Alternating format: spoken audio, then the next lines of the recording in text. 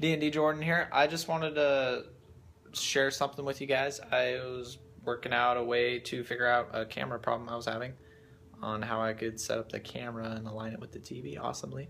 And I decided to make a tripod just in like five minutes and it was amazing.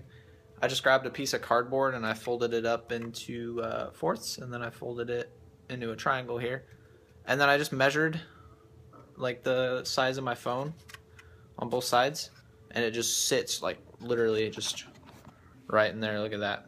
Tripod, I'm amazing. Anyways, um, I plan on starting some Minecraft in a minute.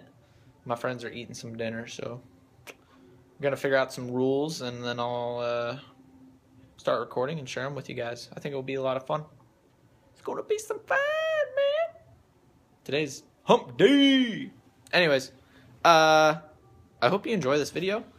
And uh, if you like it, remember to like and subscribe if you want to see more. Adios.